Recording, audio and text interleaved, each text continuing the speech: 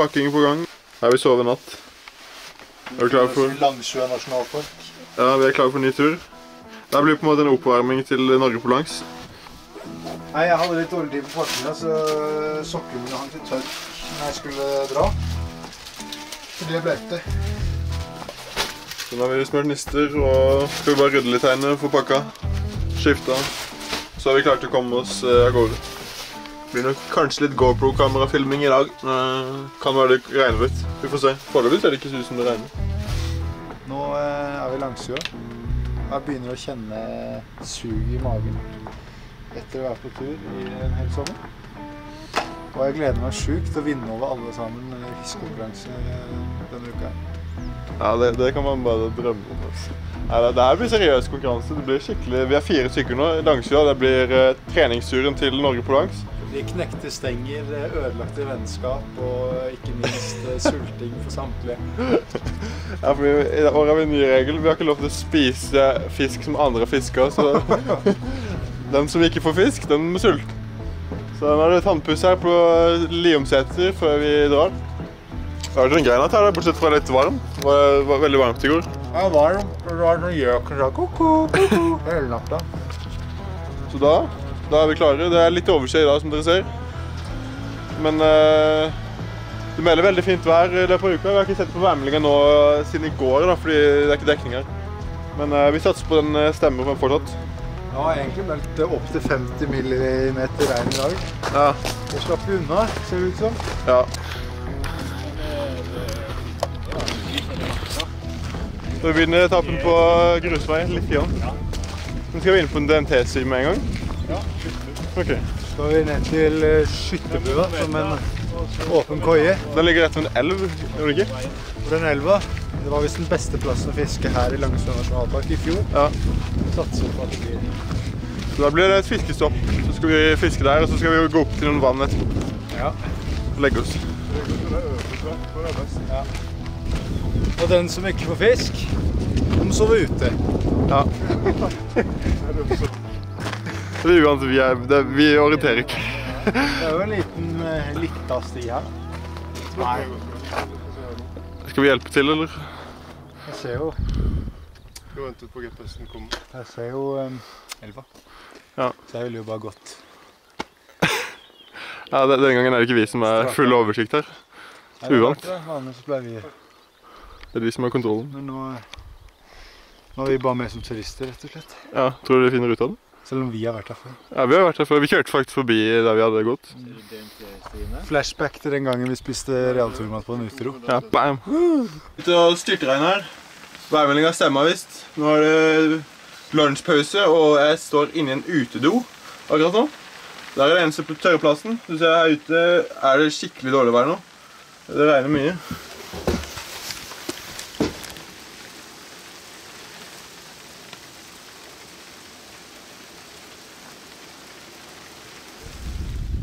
Der ser vi gamlingen orienterer. Veldig fokusert. Svartan hørte det. Svartus. Men vi er jo ikke kommet til den hytta. Vi skal jo før hyttene. Der er en hytte. Så hytta. Ja, det er nedsatt fint. syn. Der er det. Det er den der, eh, Det er ikke som det går kontroll. forbi, det, det er første hytta. Kjenner at det pumper energi gjennom kroppen. Er han klar for eh, to måneder på tur? Oh, yes. Jeg går på fisk. Jeg er helt gira for helt, eh, helt energiavfall.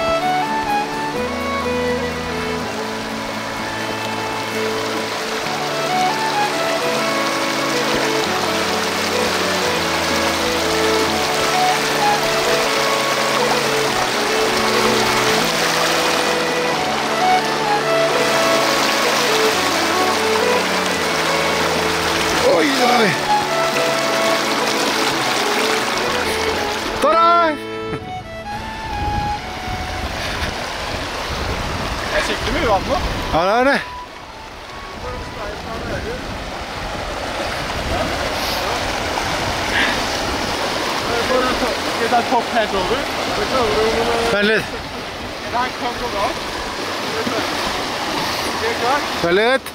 Ja, hopp.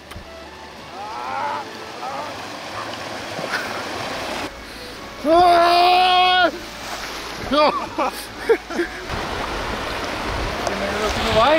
Ja, det er sommerens første elvekryssing.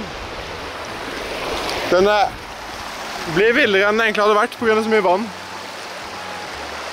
Hvor mye er det? Det er noe veldig løse stein som går snøvende. Er det ikke å det er,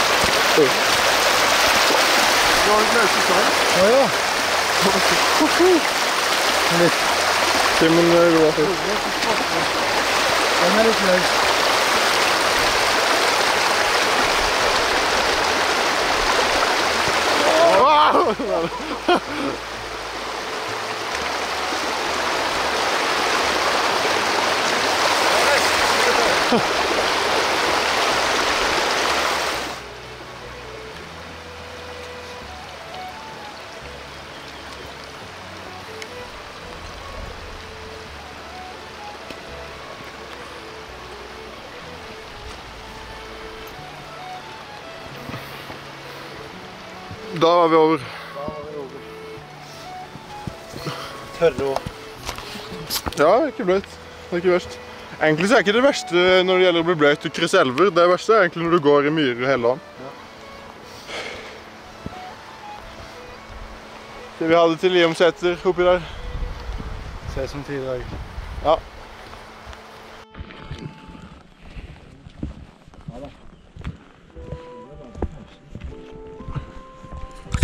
Da blir det litt GoPro-filming. Nå har vi gått et par kilometer og små regndropper i lufta, så da pakker jeg ned det store kameraet.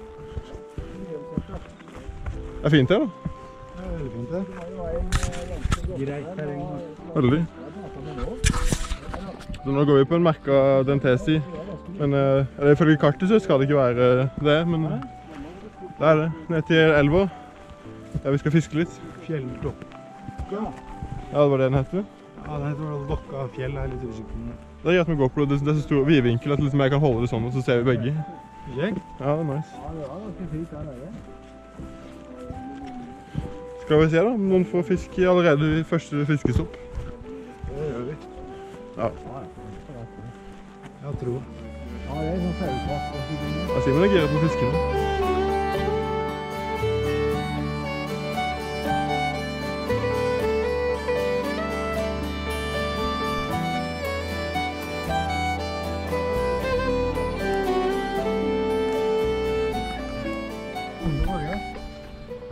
Her skal det være en åpen køye, Vi er kommet fram. Er den koselig? Ja, veldig koselig. Blir jeg i natt. Ja, det- det er Ja, fryktelig koselig faktisk her inne. deilig, ja. Ved ja. tørre bjørkved.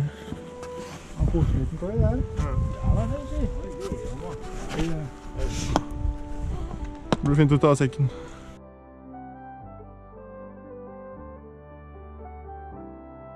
Nå har det skjedd noe um, litt kjipt. Jeg tror pappa har glemt um, sn eh, snella. i takboksen. I en Jo, det er sant. Nei, Jo. Ikke du. Eh, Den skulle vært i tak... Her sånn. Og så husker jeg ikke egentlig at jeg ikke har lagt den der. Ja, den var litt sånn trøttere, måtte spise litt. Så bli blir her i natt, da. Kom, du, Og sove i telt her. Ja, Så, um, så du um, det er ikke noe saus. Du Nei, ja, men nå må vi fiske. Jeg gleder meg til å fiske. jeg Men um, du kan ta min stang, skal jeg løpe tilbake. Nei, du eh, Det går ikke. Ødelegger ungen vår. ødelegger meg. Nei, men Du høres ut som det er heller. mellom uh... Fant den? Hvor lå den? Jeg har ikke surra. Nei, nå, det er sånn hulrom som Når jeg løfta opp en av de posene, så hadde den lurt meg. det var deilig. Det var bra. Jeg var egentlig ganske sikker på at jeg ikke hadde glemt den. Ja, flott. Spurte jeg fire timer om gangen. Ja, bra du eh, lette det så godt. da. Ja, men jeg var så sikker på at jeg ikke hadde surra. Så nå er det fisking på gang. Vi har spredd oss i forskjellige retninger. Noen eh, den veien og noen den veien eh, i elva. Men eh, det var veldig grunt og vanskelig å kaste deg, så jeg prøvde først gå litt sørover den veien. Men eh, der var det vanskelig å kaste, altså. Så jeg prøver med andre motsatt retning. Etter at Simon gikk den veien, så kan være han blitt heldig med plassen. Vi får se. Men eh, det var ikke så lett å fiske i elva der. Jeg vet at Eirik skulle kanskje bruke makk, så får se hvordan det funker. Jeg finner en plass er litt fine fisker fiske her, men eh, jeg har ikke kastet litt nå, jeg har ikke fått noe. Så vi får se hva de andre har fått. Jeg har gått ganske sånn langt opp i elva, så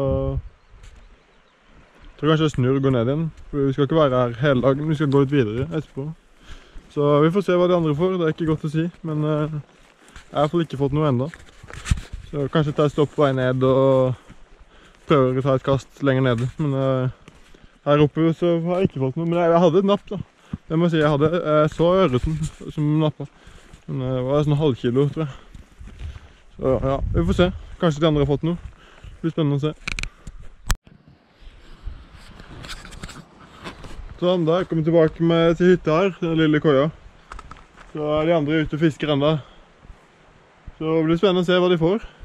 Om de får noe. Man vet ikke. Jeg synes det var litt sløft sløvt eh, bedt der i dag, altså. Det må jeg si. Eh, ja, den eh, elva der, jeg vet ikke, jeg hadde jo på en, men jeg synes den beit slapt. Så jeg tror at teorien min nå er at eh, hvis det biter, så biter de ganske slapt, og da er det ikke så lett å få de opp, alltid.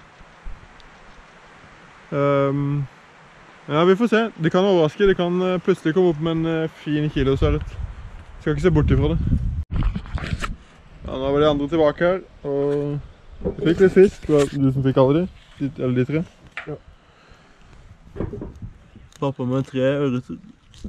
Så nå tar vi filéen fileten av de, og tar de med oppover. Vi ser noen vann der oppe, så håper å få mer. Det var ikke irre her nede. Det En sånn rosa. litt mat. Det er bra.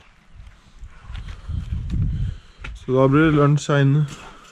Nei, når ikke vi får noen store mengder fisk, så blir det realturmat eh, til eh, lunsj. Ja, vi er halvveis til middag. Ja, vi er moderne. Noen har fått fisk. Ja, vi har fått tre stykk. Ikke jeg, og ikke deg. Nei. 3-0 til pappa. Vi er sultne. Hva var det nå? Ja, men det, så er det mye lurer på hvis vi fisker nå, at vi får sikkert noe fisk der oppe. Da er det jo middag. Nei, hvis ikke, hvis ikke den rekorden med den størrelsen og overkommelig slå.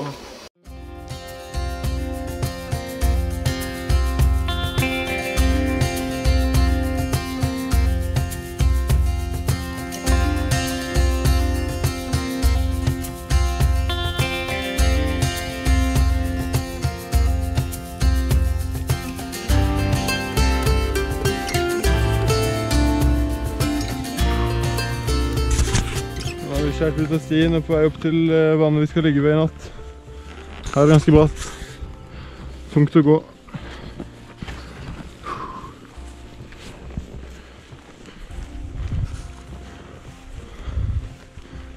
Kjenner du det nå? Jeg ble helt sliten. Og det var litt varmt. for Jeg har på meg ull.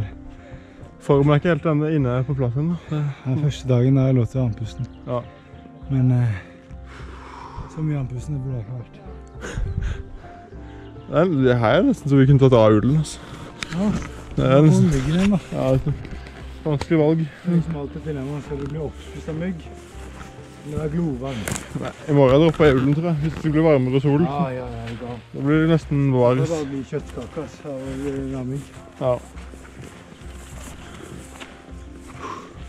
Det er alltid noe så mye oppover. Gamlingene går fra oss. Det er vi som er gamle. Ja, nå er ungdommen de går bare fra oss.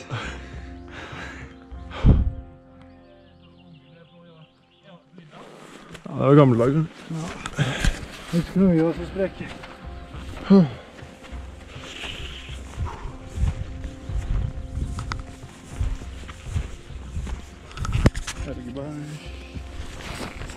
vi bærer alt utstyret. De er så lette sekker. Ja, de har ikke noe å si når vi sier det på filmen. Også. De har ikke noe oppi sekkene, det er bare puter. De skal føle seg litt tøffe. Det blir bærer alt. Kanskje jeg må henge meg på sånn. Hvor ligge sånn.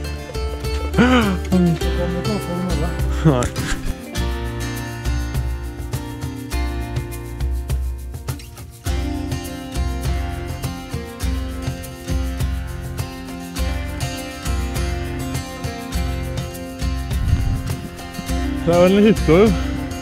Ikke så langt har vi kommet på dette. Tror vi må ned igjen og opp på neste. Har vi sånn teknisk beise som i militæret, eller? Ja, teknisk. Teknisk. Ja.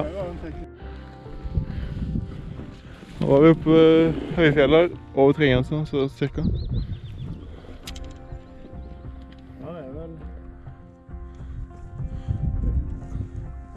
Ikke langt igjen nå. Tror du første dag? Nei, jeg skulle bare sånn. Hvor det ble hus. Samle? Hæ? Samle deg litt? Samle litt. ja.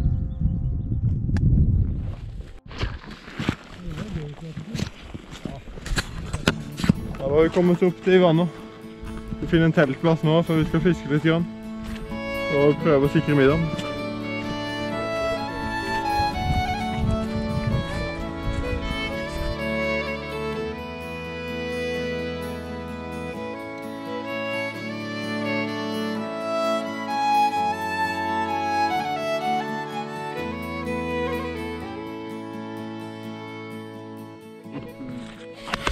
Har noen timer nå, og jeg må nesten ned og Jeg kan filme i et sekund. Ja.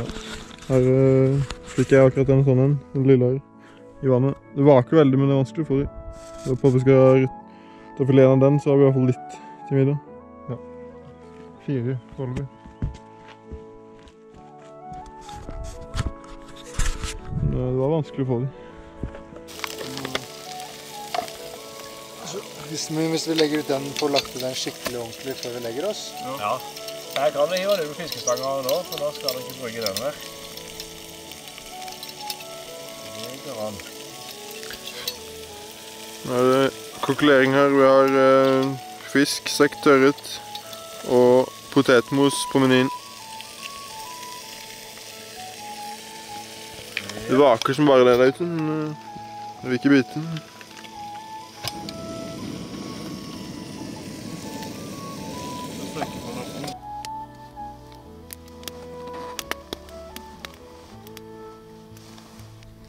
Den vei? Ja, vi har funnet drivved. Litt sånn plank og sånn som, Ja, det er som vi har tent på her. Da er det ikke så mye mygg og sånn. Og Simon er sulten, så han spiser nudler. Always hungry.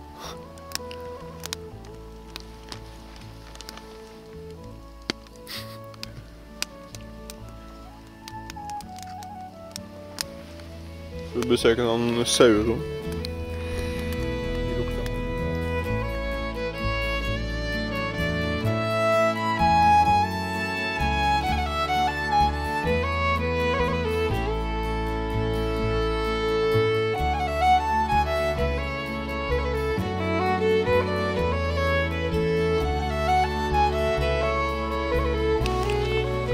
Ja, det ble en fin kveld her. da. Helst ganske stille, passe temperatur å sove i. Se ut på vannet med masse fisk som ikke vil bite neste dag. Ja, vi har fått to, to stykker i det vannet der nå. Pappa fikk en liten sild til.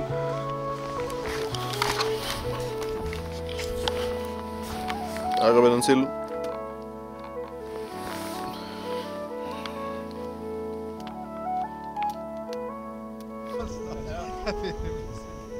Da har vi våkna til fint vær her. Sitter vi skal spise frokost.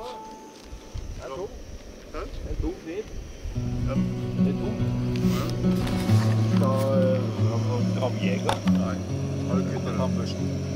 Ja, det er litt tung. Ja, ja, det er. Ja, ja. Da har du mange, da. Ja,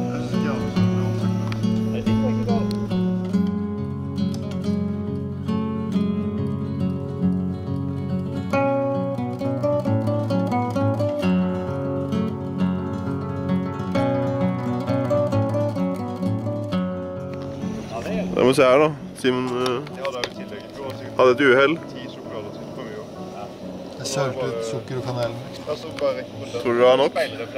Ja, du kan se halv boks. Og så har jeg jo bare av disse kakaoene. Ja. Så det kan jeg bare putte det i at å får litt sødme.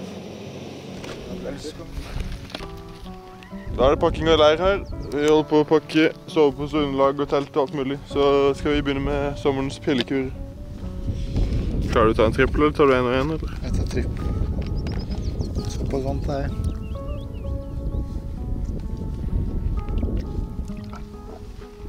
Oi. Ja, det var godt det der. Det er kanskje noen kalorier, da. Litt sånn Litt kalorier, ja. Ja. Da er det mettet.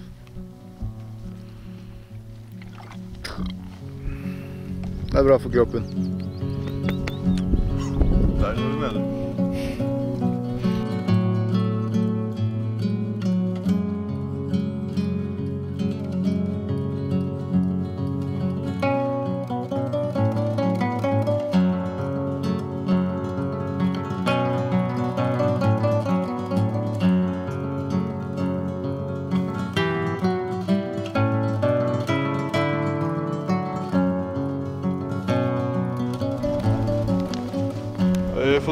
La- forlatt leiren. Fiskestengen opp på sekken. Her er det ikke noen trær. Det er fint. Det Hva går et par? Seks kilometer. på sti. Og så prøve å fiske litt igjen. Spise litt. Nå legger vi opp til eh, litt tid til fisking, så det er bra. Går ikke så veldig langt med vilje.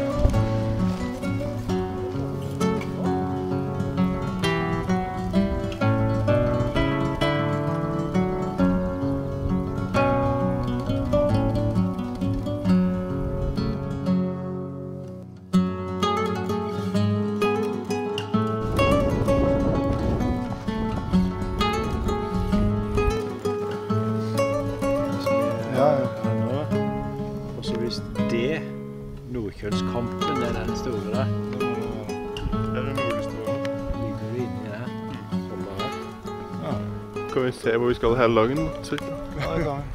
Ja, det. Det ser ikke så veldig langt. Nei. Ja, men det Nei da. Ikke så langt.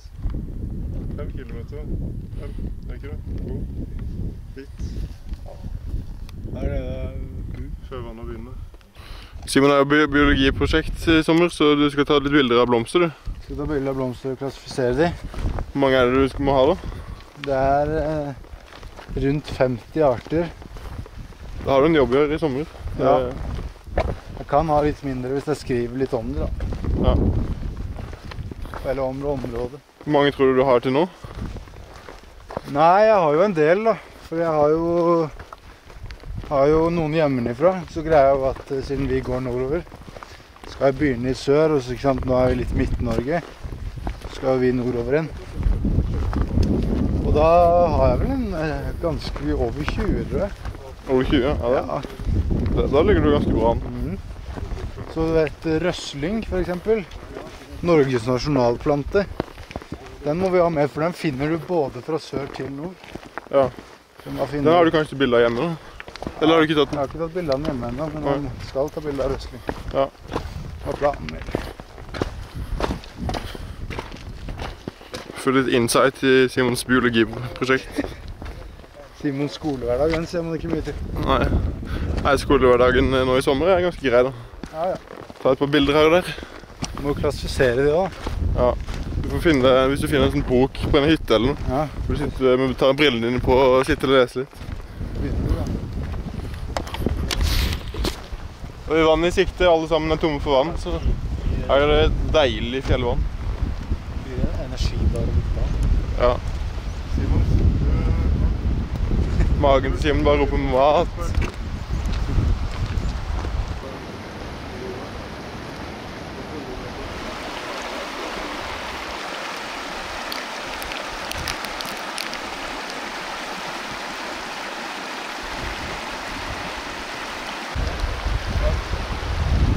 Sånn.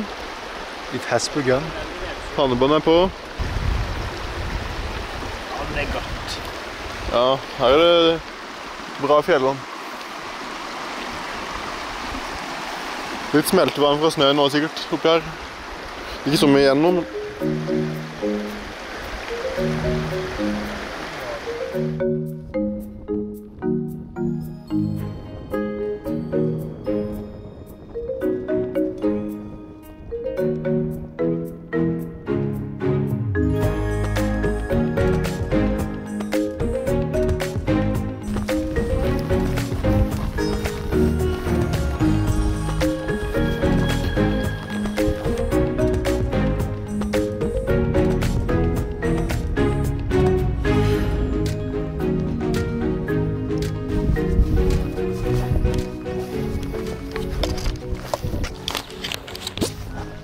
Har vi oss opp til eh, de vannene vi skal ligge ved.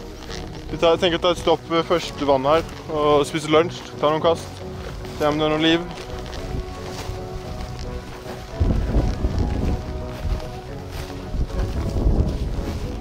Her, nå kom vi nettopp over en haug til det vannet vi hadde tenkt å ligge ved i natt. Og her var det skikkelig Her skal du ikke lete lenger for å finne plass. Men det var sånn der eh, Kan, man vise, egentlig. Er sikkert noen sauer som har hjulpet til med det her. Beita litt. Først så ser det ut som en gressplen, så er det kjempemye sånn kule Fine steiner og stein. Der oppe ser det ut som noen som har stabla Ja, det ser ut som en benk over der. Så det var en litt kul teltplass. Så er det bare fisker, da. Det er spørsmål om eh, plutselig så er det fin fisk her òg. Ja. Vi traff jo på noen lenger nede her som sa at det det vannet her og det er lenger oppe vi ser akkurat her, det var de beste av de fire vann. Ja. Du får satse på det, sant. Men det var veldig fint her i hvert fall. Og fint vær og nå. ja, veldig fint der. Sola sterker, vinden forsvant. Så her blir det bra. Ja. Må få av meg sekken. Her ser vi gamlefar sitter og leser. Magen.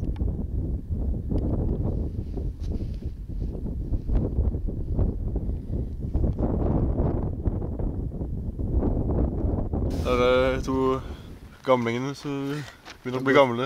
Har gått og lagt seg. Klokka halv ni. Halv ni er seint for oss, så du ser det er ganske lyst her ennå. Sola har ikke gått ned. Og ja, vi skal ikke legge oss ennå, men vi skal slappe litt av i teltet.